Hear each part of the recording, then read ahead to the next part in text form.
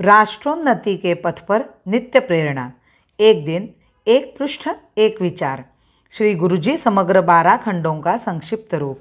भारतीय विचार साधना पुणे द्वारा प्रकाशित किया गया है।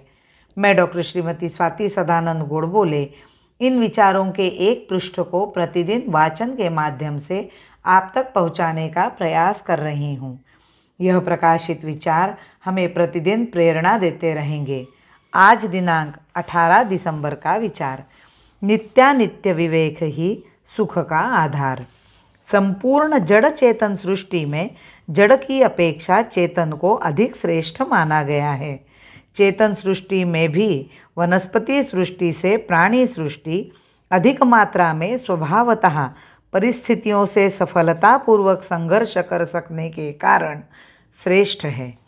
सारे प्राणियों की तुलना में जीवन संघर्ष में अधिकतम मात्रा में सफल होकर प्रकृति पर विजय प्राप्त करने में अत्यधिक सफल दिखाई देने से मनुष्य प्राणी सबसे श्रेष्ठ माना गया है, परंतु सभी मनुष्य समान नहीं होते।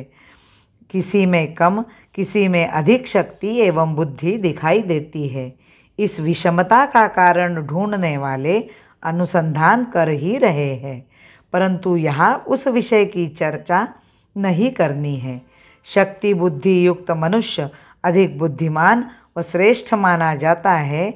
यह सार इसमें से ग्रहण कर हम अपने विषय की चर्चा करेंगे। मनुष्य प्राणी बुद्धिमान होने के कारण अन्य प्राणियों के समान ही निसर्ग के आघातों से केवल क्रिया प्रतिक्रिया कर अपने को सुरक्षित रखने का उपक्रम ही नहीं करता। अपितु बुद्धि का उपयोग कर निसर्ग की सारी वस्तुओं तथा शक्तियों को अपने सुख के लिए काम में लाने के प्रयत्न में लगा रहता है।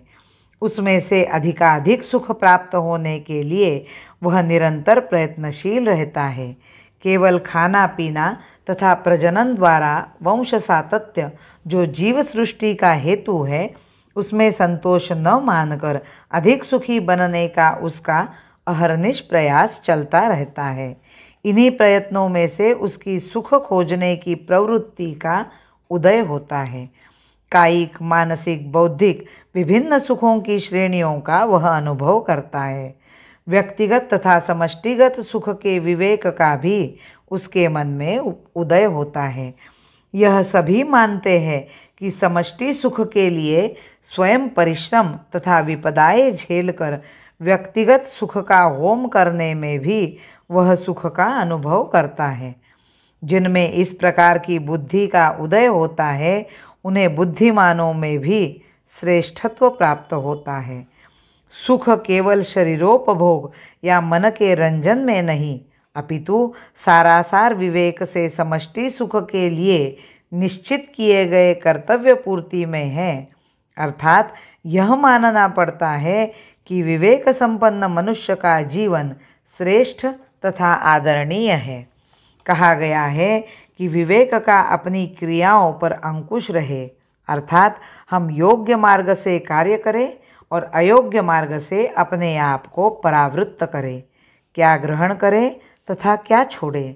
कर्म क्या है और अकर्म या विपरीत कर्म क्या है, इसका निर्णय करना ही विवेक के अंतर्गत आता है।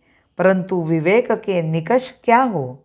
यह कहा जाता है कि नित्य तथा अनित्य, सार तथा असार, सत्य तथा असत्य में भेद समझकर नित्य, सार तथा सत्य को ग्रहण करना तथा अनित्य, असत्य, असार का त्याग करना यही विवेक है।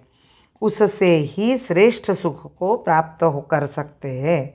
अतएव अपने जीवन में नित्य सारभूत, सत्य तथा तत्निमित्त सत्कर्म क्या है, इसका विचार करना लाभदायी होगा। बाधाओं से भय न हमें, हम तूफानों में चलते हैं। बाधाओं से भय न हमें, हम तूफानों में चलते हैं। विपदाओं के कंटक वन में, विपदाओं के कंटक वन में हम अग्निशिखा बन जलते हैं, हम अग्निशिखा बन जलते हैं। भारत माता की जय वंदे मातरम।